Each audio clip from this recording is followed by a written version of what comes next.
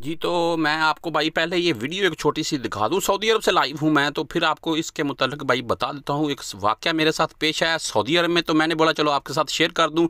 ये टीवी देख लें सड़क के किनारे पड़ा हुआ है। देख लें जी।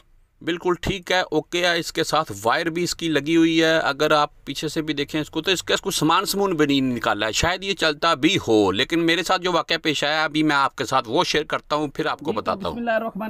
असलम सऊदी से भाई लाइव हूँ आपके साथ। आपको भाई मैं टीवी तो मैंने दिखा दिया है ऐसे एक सड़क के किनारे पड़ा हुआ है सऊदी अरब में वो तो आपने देख लिया है। लेकिन ये वीडियो मैं इसलिए बना रहा हूँ भाई के एक मेरे साथ मैंने खुद के साथ एक, मेरे साथ एक्सपीरियंस हुआ है खुद के साथ, वो मैंने बोला आपके साथ शेयर कर दूँ। आप भी कहीं कोई ऐसी गलती मत कीजिएगा, वरना आपके पैसे ज़ाया होंगे। बस अगर कुछ मेरे भाई होते हैं, उनका भाई काम हो भी जाता है, कुछ का नहीं होता है, वो मैं आपको बता देता हूँ। मेरे एक दोस्त थे पहले मैं आपको वो बता दूँ, उन एक एलसीडी उनको भाई कहीं से मिली थी, वो एलसीडी उनका कोई दोस्त था, वो एलसीडी की ना, आप बोल रहे हैं कि बड़ी एलसीडी थी चालीस इंच की तो उसके ना एक साइड पर एक पट्टी थी, यानी कि दो इतनी इतनी लंबी पट्टी थी, ऐसे ब्लैक थी, बिल्कुल ऊपर से नीचे तक। तो वो दो तीन इंच की ना एलसीडी एक साइड से ब्लैक थी, बाकी एलसीडी बिल्कुल ठीक चलती थी। तो वो उसको मिली थी, किसी ने दी थी उसको तो है एलसीडी बिल्कुल ठीक थी। उसने कार्गो करवा दी, उसका मेरा ख्याल है उस टाइम चार पाँच सौ रियाल लगा था वो एलसीडी चालीस इंच की करा कार्गो कराने पर तो वो चलेगी उसके घर पर और अलहमदुल्ला अभी तक वो सही चल रही है। लेकिन मेरे साथ क्या हुआ था भाई, मुझको एक एलसीडी मिली थी ताइफ में मैं मौजूद था, शायद मैं आपको उसकी पिक्चर भी दिखा सकूँ। तो ताइफ में मैं मौजूद था भाई तो उस टाइम मैंने, मुझको ये एलसीडी मिली थी सैमसंग वालों की मेड इन मलेशिया और ये एलसीडी बाइक काफ़ी खूबसूरत थी, और मैंने स्लिम थी बिल्कुल सीरियस फाइव थी, काफ़ी महँगी थी, इस, उस टाइम ये सऊदी अरब में। तो मैंने देखा कि ये बर्मील में पड़ी हुई है, जो कचरा कुचरा फेंकने वाला होता है बर्मील से इतनी बाहर थी ये, माशाल्लाह, वो 46 या 49 इंच की एलसीडी थी, छियालीस या उनचास इंच की। तो मैंने वो उठा ली, उठाकर भाई वो मैंने रख ली, और जब मैं घर गया, वो मेरे पास वायर पड़ी हुई थी, एक केबल, वो भी कहीं से मुझको मिली थी, वो उसके पीछे लगने वाली। जब मैंने वो वायर उसको लगाकर देखी तो वो फिट बैठ गई उसके ऊपर तो मैंने वो वायर लगाई, उसको चलाया, वो चल गई। जब मैंने देखा ना तो वो भाई उसके एक तरफ़ कोने पर हल्का सा टच था, बस। बाकी पूरी एलसीडी क्लियर थी। मैंने बोला भी इसका साउंड वगैरह चेक करेगा चलाकर। तो फिर मैंने ऐसे किया कि मैंने, मेरे पास एक हार्ड पड़ी हुई थी कंप्यूटर हार्ड तो वो मैंने उसके साथ उसकी केबल भी थी, वो लगाई, चलाई, उस पर मूवी वगैरह चलाई, वो बिल्कुल ओके चली। शायद मैं आपको दिखा भी रहा हूँ, वो तस्वीर मेरे पास अभी भी मौजूद है। तो वो बिल्कुल ओके चली। तो मैंने ये सोचा कि जब ये एलसीडी माशाल्लाह उनचास पचास इंच की एलसीडी है तो ये बिल्कुल है भी अच्छी और एक छोटा सा डब्बा है साइड पर तो इसे कार्गो कराना चाहिए। चलो, पाकिस्तान।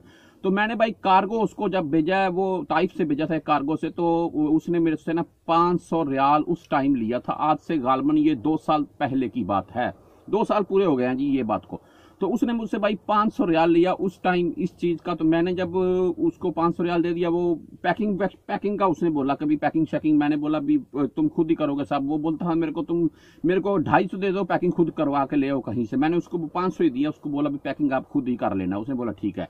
तो उसने मुझको चालीस दिन का टाइम दिया था। उस टाइम उसने बोला, भी, अभी सामान कुछ लेट हो रहा है, पाकिस्तान में हो सकता है, दो माह लगे। तो मैंने बोला, भी, कोई मुश्किल नहीं, चलो, दो माह लग जाएँगे, क्या मुश्किल है? आप भेज दो। तो भाई वो एलसीडी उस टाइम मेरा फिर ताइफ से मैं काम के सिलसिले में चला गया। हाइल हाइल में मैं मौजूद रहा, उससे, उसके बाद मैं हाइल से भाई फिर ताइफ चला गया वापस। तो उसकी शॉप पर मैं गया, उस टाइम दो माह तो अभी नहीं हुए थे तो लेकिन वो उसकी शॉप बंद सी जब उधर से पता पता किया तो वो लोग बोलते हैं कि ये काम छोड़ गया है। लेकिन ये इसका नंबर था, जो उसका नंबर मैंने जब मिलाया तो उसका नंबर मिला तो वो किसी और ने उठाया। वो बोलता कि मैं जद्दा से बोल रहा हूँ तो वो कार्गो वाला जो है ना बंदा, वो उसने स्मार्टफ़ोन भेज दिया। ऐसी किसी किस्म की टेंशन लेने की आपको ज़रूरत नहीं है। आपका सामान आपको मिल जाएगा, चाहे चार दिन लेट मिले लेकिन मिलेगा। मैंने बोला, ठीक है।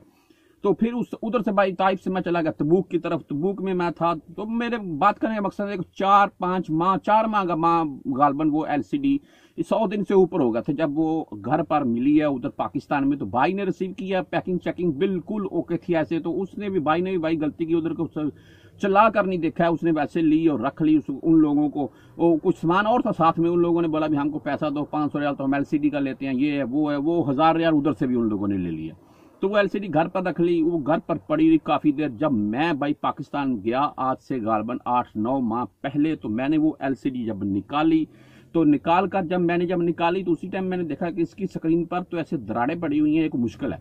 तो मैंने जब उसको प्ले किया, चलाया, उधर वो वायर के साथ तो वो बिल्कुल खत्म हो गई थी, वो ब्लैक आ रहा है बिल्कुल, जो वो टूटी हुई थी कई जगहों से। तो मैंने उसको फिर वो डाटा केबल शेबल को लगाकर मोबाइल के ज़रिए चला कर देखा, फिर उसको लगाई है। रिसीवर कुछ चीज़ आए, तस्वीर वगैरह पिक्चर वगैरह को आती, कुछ भी नहीं आया, कोई साउंड नहीं आ रहा, कोई कुछ नहीं आ रहा एलसीडी उसकी ब्लैक हो गई थी, वो खत्म हो गई थी। तो मुझको काफ़ी भाई दुख लगा इस चीज़ का कि पाँच सौ रियाल लग गया मेरा। यार चलो मिली तो फ्री थी, लेकिन एलसीडी ये टूट गई है, इसका क्या फ़ायदा बना? तो बात ये थी कि फिर मैंने सोचा कभी फिर एक दोस्त को मिला उसने बोला भी आप कार्गो वाले से पूछते मैंने बोला अभी क्या पूछेगा किसी से? अभी तो इसको इधर घर पर पड़े हुए चार माह हो गए चार माह हो गए घर पर पड़े हुए। उस टाइम ये लोग चला कर देख लेते तो शायद मैं उधर उससे पूछ कुछ करता तो कुछ बन जाता। तो जब भी भाई आप कार्गो का सामान भेजे ना पाकिस्तान में ऐसी किसी भी चीज़ का पहले नंबर तो, तो आपको ये बता दूँ मैं कोई भी ऐसी एलसीडी जो भाई दागेबल हो उसे कार्गो मत कीजिएगा क्योंकि वो जो दागेबल एलसीडी है ना वो जितनी देर चलती है ना उसे चला सकते हैं आप। जब उसे आपने बंद करके रख दिया ना फिर वो कुछ एक, एक दो माह बाद वो ब्लैक हो जाती है खुद ब खुद।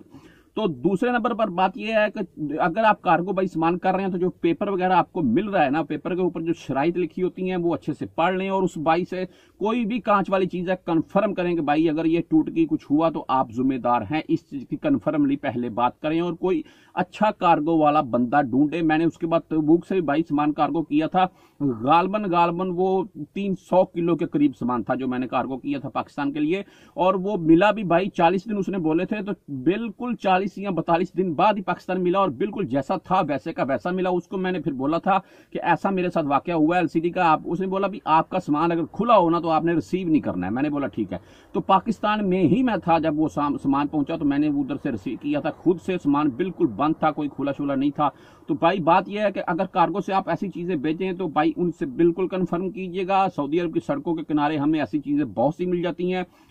खास तौर पर एलसीडी वगैरह या कोई फ्रिज वगैरह या कोई और ये स्क्रीन साफ़ करने वाली मशीन वगैरह और भी बहुत कुछ होता है। लैपटॉप वगैरह भी मेरे दोस्तों को कई कई मेरे दोस्त हैं उनको मिले हैं।